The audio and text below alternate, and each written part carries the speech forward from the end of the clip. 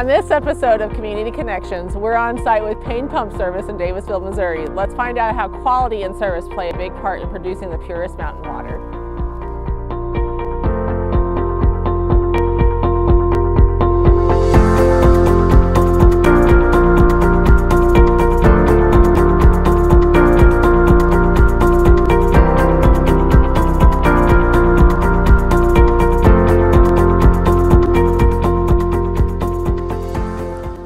Kelly Hoey with FCNB Bank. Joining us is Jason and Monica Payne, owners of Payne Pump Service in Davisville, Missouri. Welcome. Hi. Well, You've been servicing and installing water wells and pumps for several years now. Tell us about how you got started in the business. Okay, back in 2001, my dad started the business. I was a little girl. Um, he worked it for several years. He, he had a different job and he did this on the side. But then the business picked up, so he, he quit that job and just went on his own. He built his own derrick on the truck. And um, in 2000 and, no, it was 2000, Jason went to work for him and worked with him until 2015. And then my dad said it was it was time to branch out on our own. At first, I said no because I was scared, but my dad just kept pushing and pushing until we did it, and it was it was probably the best move we made. yeah. The good Lord's put everything in front of us. You can't beat that. So, catering to personal uh, customers and businesses, what type of services do you guys provide?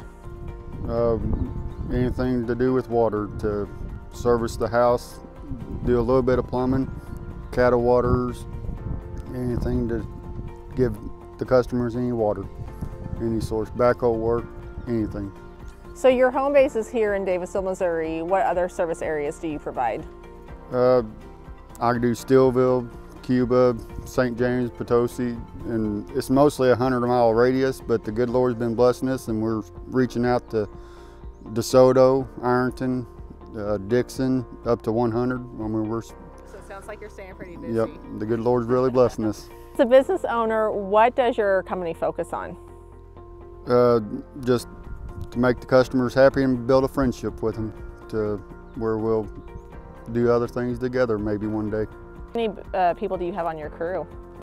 just me and her, or our son when he's home to help us, and our nephew when he, he needs help, he'll come and help. We know giving back to our communities is really important. What are some ways that you guys give back to your local community? Well, we do the normal the sponsorships and donations, but the one thing that really holds our heart is love thy neighbor.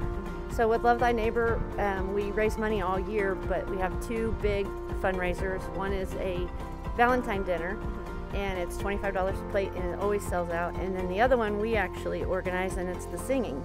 So we get eight to ten local people that with talent, and they sing. And between each singer, we auction off big goods.